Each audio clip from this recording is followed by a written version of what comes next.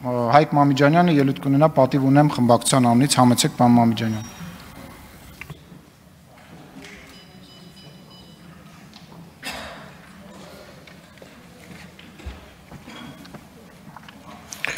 Պարոն Սիմոնյանը իր ելույթը ավարտեց թերևս այսքանայով։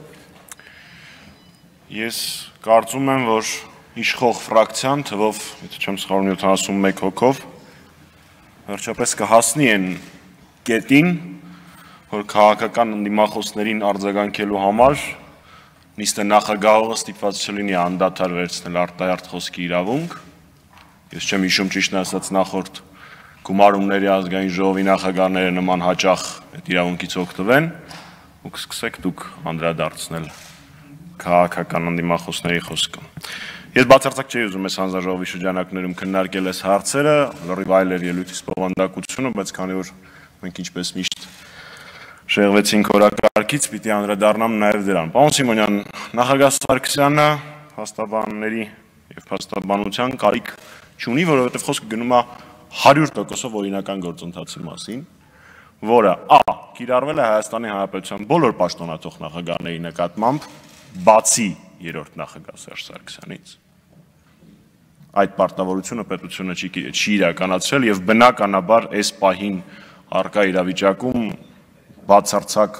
100 առաջնահերթությունների մեջ այն չի մտնում ինչ խոսք դրա այդ դրա մասին անգամ խոսք լինել չի կարող ա ինչ վերաբերում էր որ դուք օգտագործեցիք չեր կարող այդ պահին ես հիշեցնում եմ մեր հեռուստադիտողներին, որ նախագահ Սարգսյանը իր ղեկավարած առաջին կառավարության նիստում հետևյալ ձևակերպմամբ ասաց. երբ այս աթորին նստած լինի այլ մարդ, կարող եք վերադառնալ այս խնդրին, բայց քանի դեռ ես եմ զբաղեցնում վարչապետի պաշտոնը, էթիկայի տեսանկյունից տրամաբանական չէ նման օրինակ որոշման ուժի մեջ պահելը եւ հրաժարվեց իրեն հասանելիք համառանոցից։ Եկեք ես պարոն Ռուբինյանին էի դա նախատեսել ասելու, եկեք երբ որ fake ենք դաշտ նետում, գոնե բազմակայլ հերկվող fake լինի, էլի։ Սենց շատ կարճ հերկվող fake-ը։ Ա Սա օրենքի պահանջ էր։ Նախագահ բնականաբար ինքը չէր նախաձեռնել դա, ինչպես ասաց պարոն Մինասյան, այդ օրենքը գործում է առաջին նախագահի ժամանակվանից։ Եվ նորից շեշտեմ, որ Հայաստանի Հանրապետության միակ պաշտոնաթող նախագահը, որի նկատմամբ այդ արտոնությունը չի կիրառվել, երրորդ նախագահ Սերժ Սարգսյանն է եւ նորից շարունակելով ասեմ, որ մեր պետության արժեվ այս պահին ծառացած խնդիրների տրամաբանության մեջ բնականաբար պետության այս պարտավորությունը նույնիսկ հարյուրյակի, հազարյակի մեջ չի մտնում։ Շարունակելով Դուք խոսում եք այդ արտոնություններից, բայց ես ուզում եմ հիշեցնեմ, որ ձեր իշխանության օրոք կառավարության գնումները, դրվեցին գախտնի տակ, գախտնի որոշման ընթացքում իբր անվտանգությունից ելնելով։ Դուք պահպանելով կոռեկտության փոխադարձ կարծես թե համաձայնեցված սահմանները ռետորական հնարք օգտագործեցիք, ես էլ մի նման բան կանեմ։ Բա ինչպես անվանել այն երևույթը,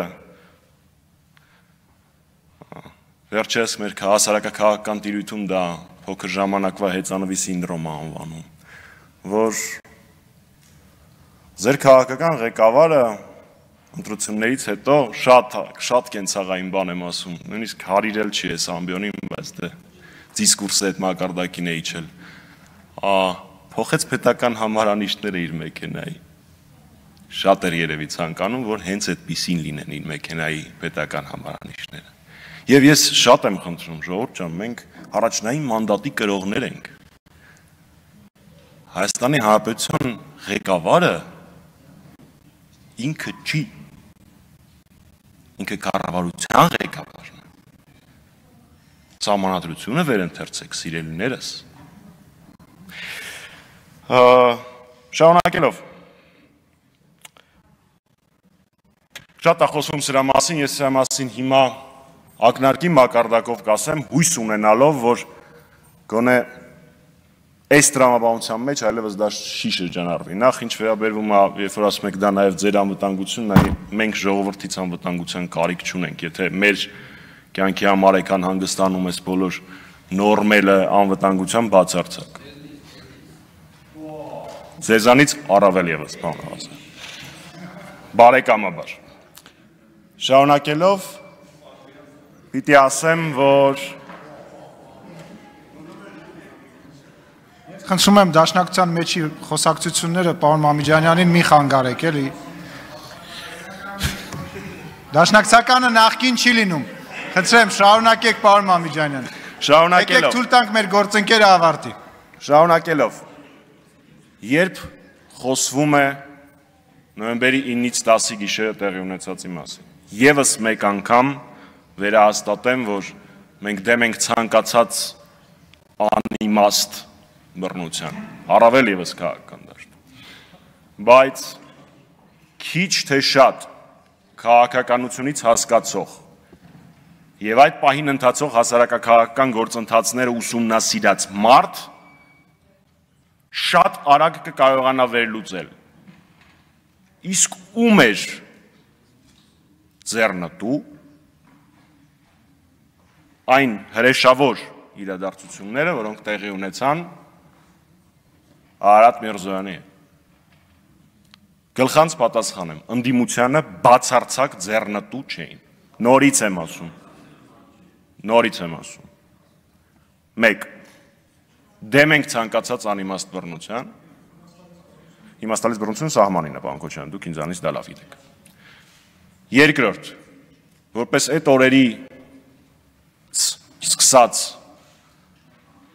ցույցերի եւ ընդդիմադիր գործընթացների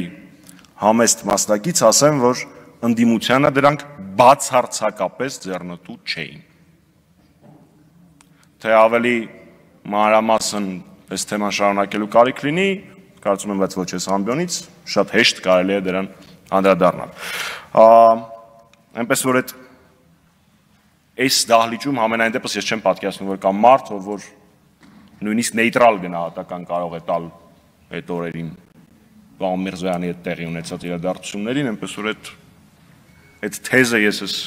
ամբիոնից շարքման նպատակը չեմ հասկանում։ Եվ վերջում հանձնաժողովի մասով։ Տիկին Տիգրանյան, այս ոլորտը իմ նեղ մասնագիտական ոլորտը չի, եւ ես չեմ կարողանա նեղ մասնագիտական քննարկում ծավալել ձեր հետ։ Թեպետ ապարքեավաճարների մասին խոսելիս բնականաբար ազգային ժողովի շուրջ 700, եթե չեմ սխալվում, աշխատակազմի ստացած ապարքեավաճարների հետ որևէ խնդիր չկա, իրենք